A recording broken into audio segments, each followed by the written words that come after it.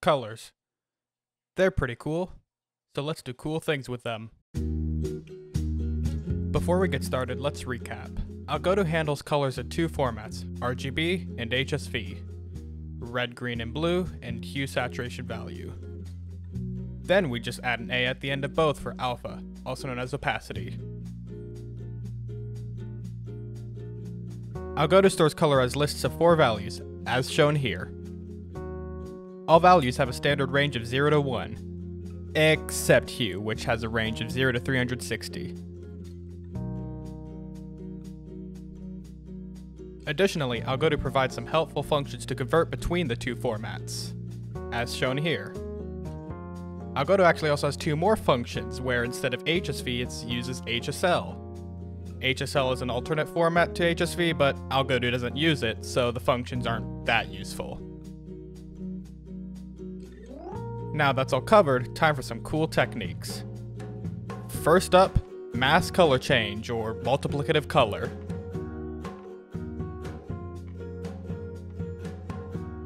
This technique involves a hidden feature of Algodoo's object layering system to change the color of many objects all at once. Just in case you're unaware, Algodoo has a layering system accessed by right-clicking the background. It's pretty useful.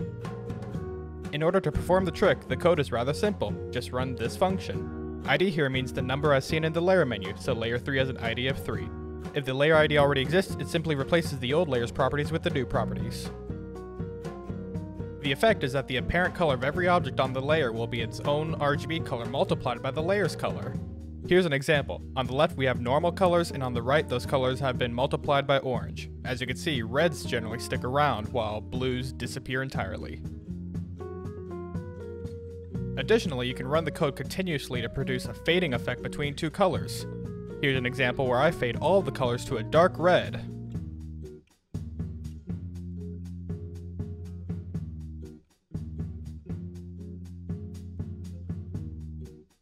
One final note, layer colors can actually go above 1, allowing for things to get brighter if needed. Here's an example. On the left we have a bunch of dark colors, but on the right we have those same colors multiplied by 2 in both the blue and green channels, which makes the blues and greens bright but keeps the reds dark.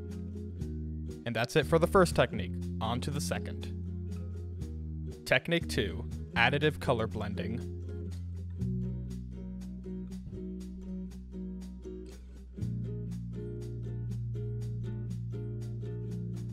Additive color blending is simply the process where you add two colors together to get a new color. If the added color exceeds the max, in this case 1 or 100%, then the color that is displayed just is the max. Of course, we can't normally do this in Algodoo, so we have to exploit how regular transparency is handled by exceeding normal ranges. So here's how the trick works. First, you set the color you want to add to all colors below, multiply value by 1000, and then divide alpha also by 1000. And then you're done. You've created additive color. And there's more. If you multiply and divide value in alpha by a much smaller number, such as 4, you can get a partial additive blend. Here's an example. On the left, we have additive, and on the right, we have normal 50% alpha. But in the middle, we have a partial additive, where I multiplied and divided alpha by 4 instead of 1000. With some effort and experimentation, you can create some neat things with partial additive blending, such as these lights I've been able to create. And now, one last thing. You can combine the techniques shown to create a layer where everything on it automatically additively blends with layers below. And here's the function.